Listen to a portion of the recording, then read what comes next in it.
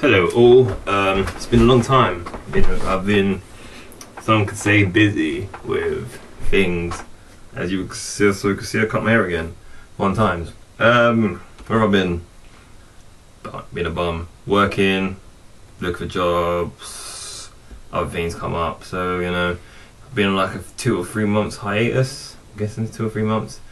So um, this is the first thing I'm gonna do since the new DC 52 started, I was going to talk about a couple issues of comics that got rounded up in August to make way for the new 52.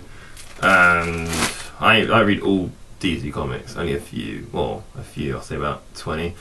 Um, and the ones I have read, which would be Justice League, Green Arrow, all the Batman stuff, except for Gotham City Sirens, Detective Comics, which I don't know why I didn't read that. That's probably like the best Batman comic going, or was going. Um, just things like that. And Flashpoint, which was also good, very good. I'll about in a sec. So basically, um, one issue I want to say really, really was probably the best close up to a comic ever was Batgirl 24.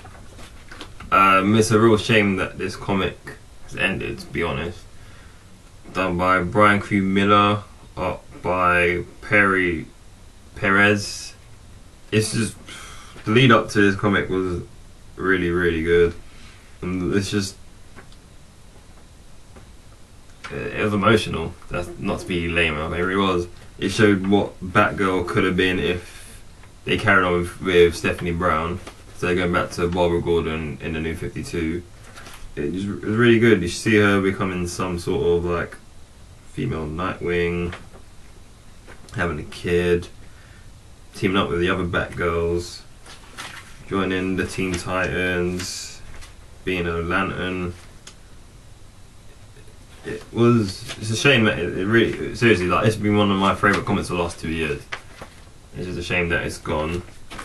Um, so was Red Robin, number twenty six. That was really good as well. Just showing Tim coming to terms with his father dying by the hand of Captain Boomerang Senior, and he had a chance to kill him, but he remembered everything Bruce taught him and he decided not to kill him and it had a little nice moment between him and Bruce who's like being his second father. It was really cool. I liked that book. Batman was okay, just Damian talking about how great Dick Grayson is because he is.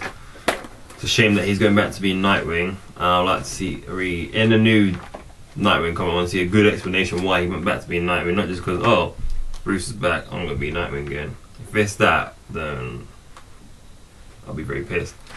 Also, Justice League, I think it was 49, 50, no, no, it's not 50, 50 something, I can't actually remember. I lent it to a friend, so I can't actually remember the issue right now. It was kind of lame. The whole series, to be general, since James Robinson took over after Cry for Justice, where it was, been pretty lame.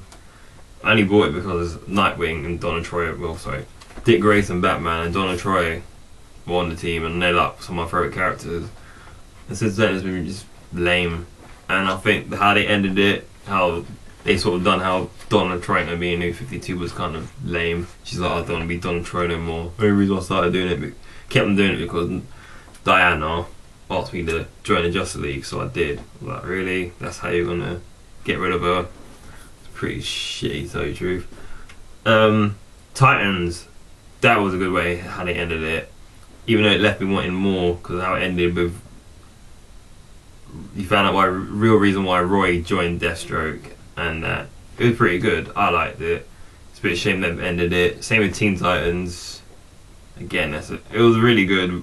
Ever since TK, sorry, JT Krul took over, it's been pretty good. Even I ain't really got to read it much, but been good. I've been getting it his run in. Well, I'm waiting for his one to come out in trades and finish that off everything else I can't actually remember what I've read was alright. Green Arrow ended pretty cool. Green Lanterns ended alright. Pretty good as well. even though it really was a setup for New 52 with Sinestro being the new Green Lantern of Sector 2814, the Renegade Lantern, and how Kyle and John have got beef over what he did to Mogo. And Guy Gardner is still Guy Gardner uh, and his awesomeness, probably the best ginger character of all time next to Roy Harper. Um, yeah, Flashpoint, really good. It's another thing I'll talk about for another time. Yeah, but I'm signing off. Tell what you think about how 52 end, well, DC Universe ended, and I'll get back to you. Bye.